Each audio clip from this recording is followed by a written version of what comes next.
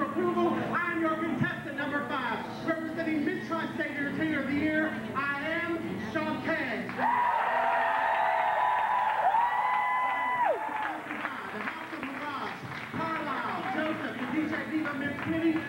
Productions, and John White of Dinner Playhouse.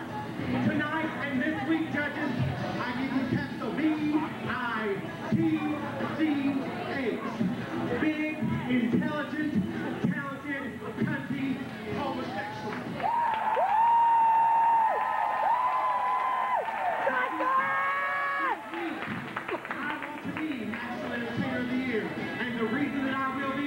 Being a bitch is the truest thing to being a woman. And if I want to be a bitch this week and it'll make me win, then let the bitch come out and let the woman begin.